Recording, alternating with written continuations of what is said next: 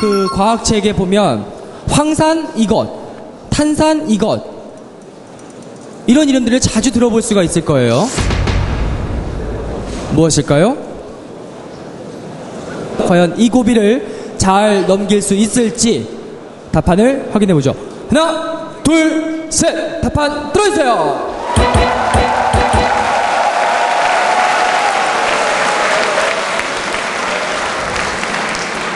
자, 39번 문제에서 어쨌든 우리 최후의 1인에게 고비가 왔습니다. 정답은요? 네, 39번 문제 마그네슘이라고 적었는데요. 마그네슘 정답입니다.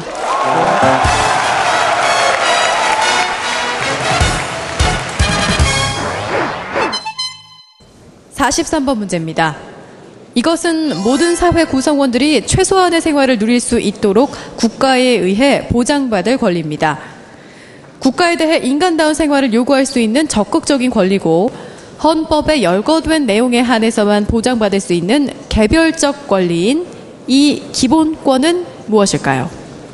어떻게 보면 어, 우리가 국가에서 사회보장 제도 같은 것들이 있지 않습니까? 이런 사회보장 제도는 이 권리를 시행하는데 실천하는데 아주 좋은 예라고 할 수가 있겠죠. 이제 5초의 시간을 드리겠습니다. 하나, 둘, 셋. 답판 들어주세요.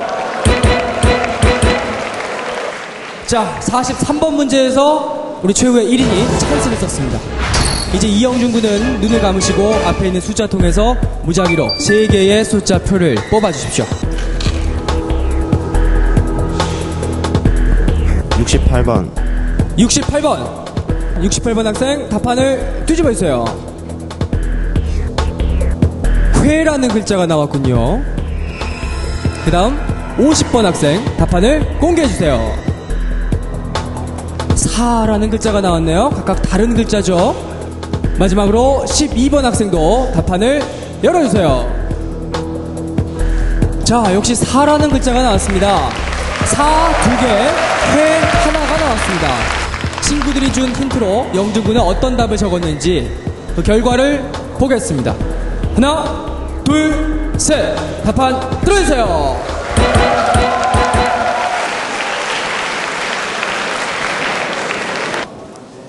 사회권 정답입니다.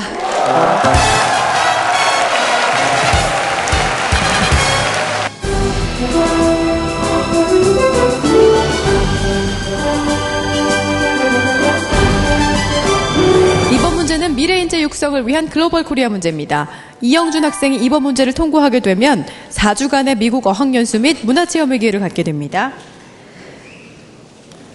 지난 일본 대지진 당시 센다이 지역은 이것과 가장 가까워 피해가 컸습니다.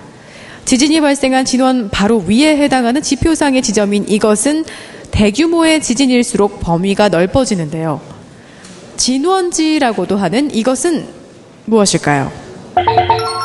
지진이 발생한 진원 그 바로 위에 해당하는 지표섬의 지점을 이것이라고 그래요.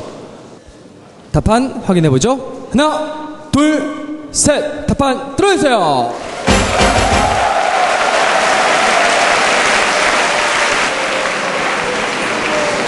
과연 글로벌 코리아 문제를 마치고 원하던 어학연수를 갈 수 있게 될까요? 네, 진앙 정답입니다.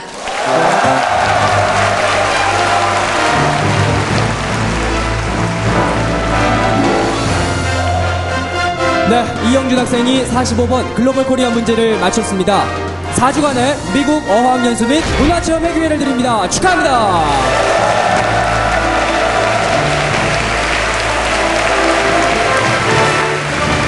오늘 여러 가지 고비가 있었는데 어떤 순간이 가장 힘들었어요? 지금 45번 자리까지 오기까지. 네 아까 39번 문제에서 마그네슘 맞추는 것이 가장 마그네슘을 가- 떠올리는 것이 가장 힘들었습니다. 왜요? 그 문제가 왜 어려웠어요? 어 금속에 아 금속인데 네 글자인 네 글자인 금속이 갑자기 떠오르는 게 스트론튬이 있었는데 그 스트론튬이 답은 아닌 것 같고 자꾸 머리에서 떠나가진 않고 하니까 마그네슘을 떠올리기가 쉽지 않았습니다. 오히려 스트론튬이라는 금속을 들어보기가 더 어려운 건데 너무 어려운 것만 생각하다 보니까 친근하고 익숙한 게 잘 안 떠올랐을 수도 있죠.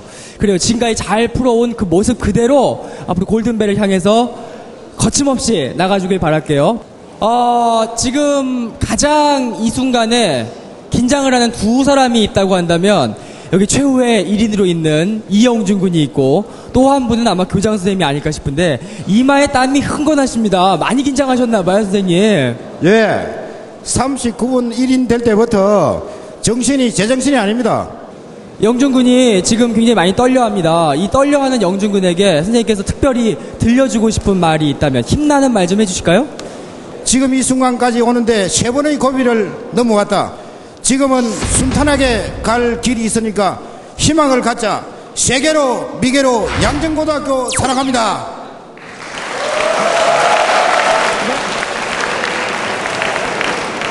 사십육 번 문제입니다. 다음이 설명하는 단체는 무엇일까요? 대한제국기 동학농민운동에 참여했던 사람들이 중심이 되어 한반도 남부 지역을 중심으로 활동했던 대표적인 무장 민중 집단. 탐관오리나 부정축제한 부호를 공격 대상으로 삼고 그들의 재물을 빼앗아 빈민에게 나누어 줌. 홍길동전에서 홍길동이 만들었던 조직 명칭과 동일한 이름을 사용.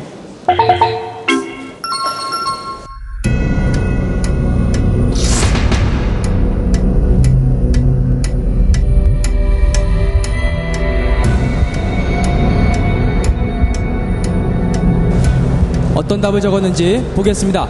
하나, 둘, 셋. 답판 들어주세요.